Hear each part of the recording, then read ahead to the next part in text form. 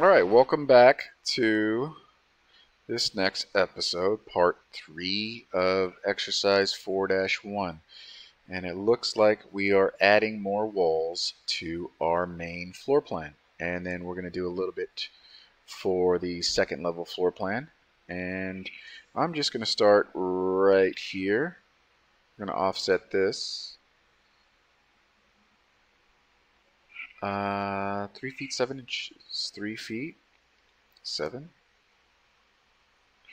And all the interior uh, walls are 4.5 inches. There we go. And it looks like this extends all the way across. So EX.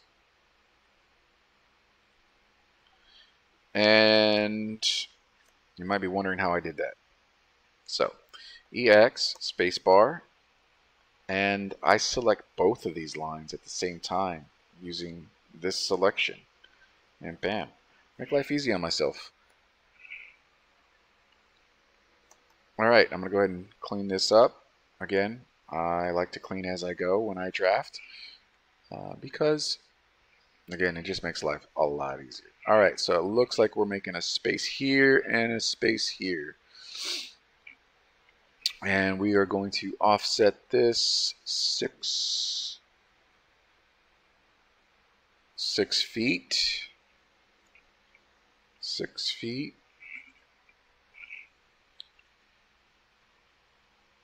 This way. Uh, offset 4.5 this way. And then we're going to offset five feet, uh, 10 dash 5, was it, eighths inch? This way. And then offset 4.5 this way. All right. So let me clean this up before I start that other one. So I'm going to use fillet. Start with the inside and then fillet start with the outside. So I created this six foot um, area. There we go. Let's trim that, clean that up. And now we need to offset, it looks like uh, three feet, four inches. Ah, offset 3 feet 4 inches here. And then offset again 6 feet one and a half inch.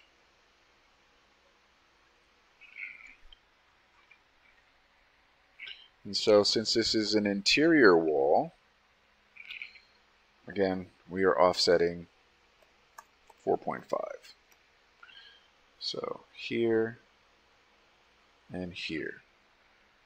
And it looks like this line extends all the way to here. So F, fillet.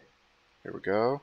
Now we need to offset this uh, 2 feet 9 inches. 2, 9. There we go. 2 feet 9. Make sure you're out of all the commands. And there you have it. Oh. Looks like I need to fillet this here and here.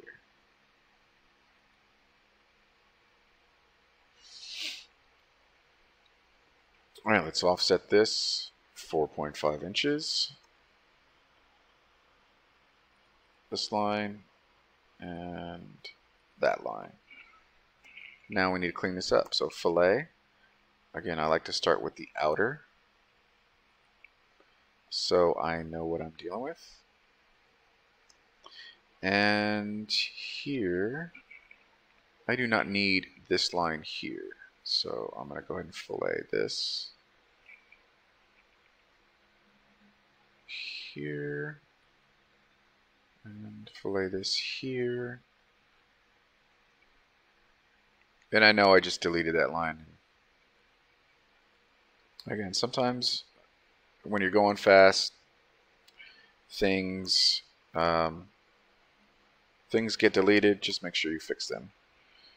All right. Now it looks like we need to... Ah, it looks like this is supposed to match up with this. So I did this a little bit wrong. And that's okay. We'll go ahead and fix that. Let's move. There we go.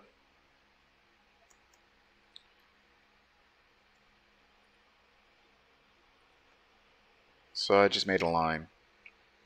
And now I'm just going to fillet this. There we go. And so you can see how paying attention to the dimensions is critical and what's really going on. So this wall is continuous all the way to here. Um, even though I kind of drew it separate, I still was able to uh, manage to fix this. And again, so if we want to check, let's go to properties. That's 2, 9. That's 6 feet 1 and a half. This is 3 feet 4 inches. And so just make sure you, you double check. This is at, what, 6 feet? Yeah, 6 feet 1 inch, 1 and a half inch. Okay, so now we're moving, moving right along. All right, let's offset this. It looks like uh, 13 feet 5 and 5 eighths, so offset 13 feet 5 dash 5 eighths. Here we go. Offset 4.5 this way on the inside. And then now clean this up. And I don't like to, and, and I'm just telling you this um, because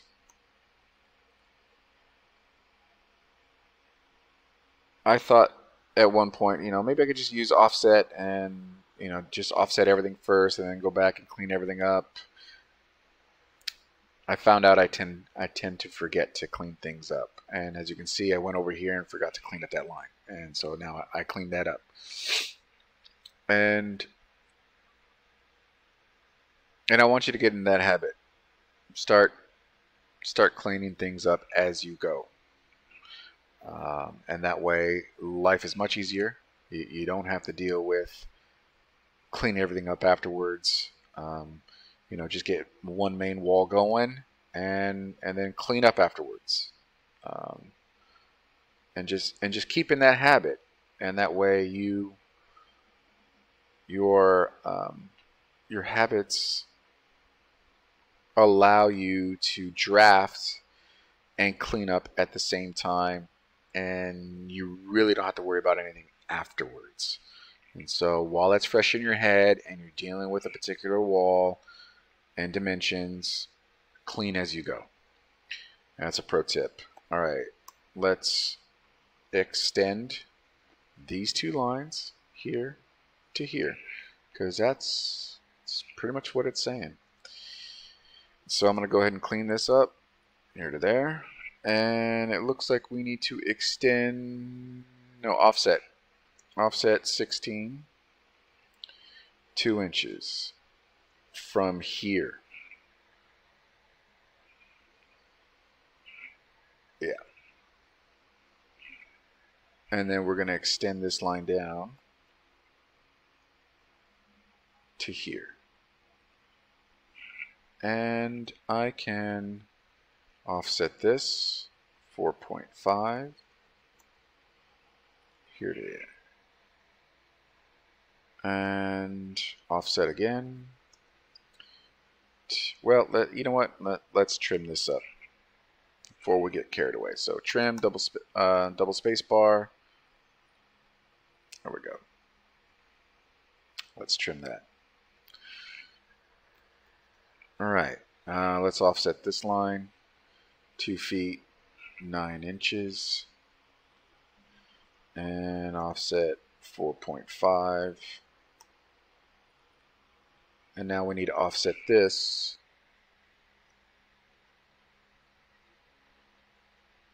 Oh, it looks like it gave us uh, the offset for here. So offset 7 feet 1 inch.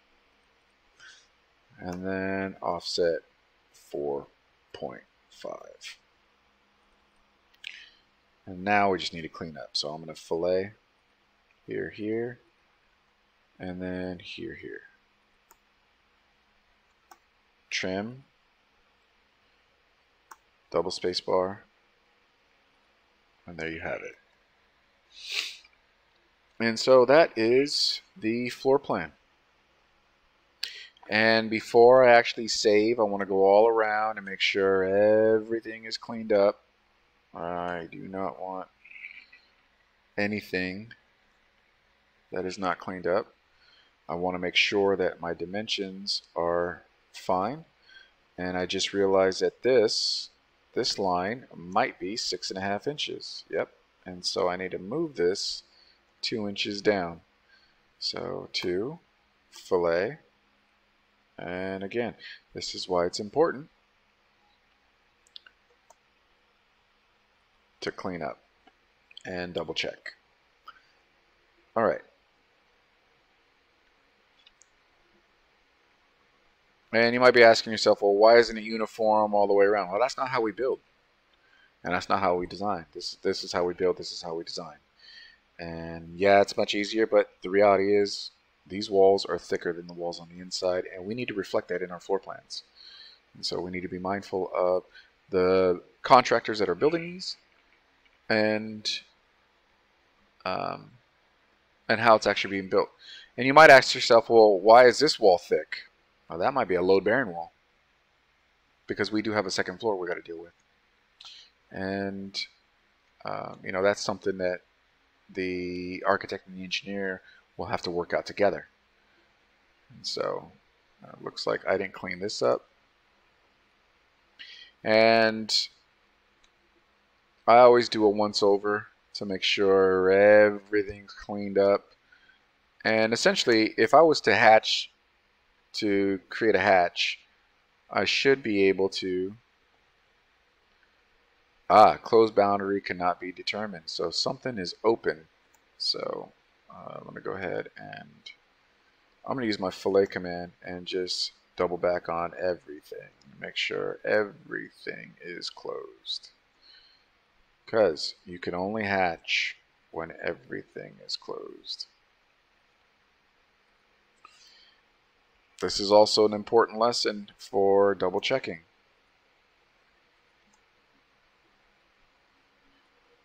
And sometimes, sometimes, AutoCAD just doesn't hatch everything. And there's a trick to that as well.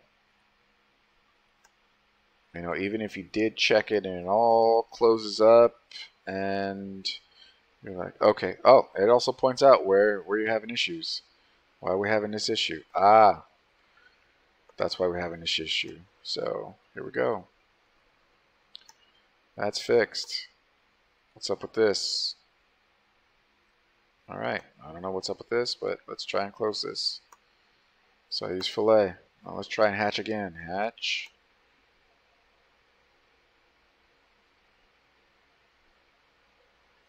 Oh yeah. So now I know everything's closed because, you know, you're not going to be able to hatch without everything closing. And this is what we want. I'm going to delete this hatch. So hatch it, they're called hatch patterns, and um, we always call them hatch for short. Um, let's see. So, if I hit the letter H, hatch, spacebar, and I select on the interior, um, there you go, it'll hatch everything. And so I would also double check that on the basement plan as well. So, um, and just to make sure everything's closed because we will have to hatch these walls eventually and we'll get to that.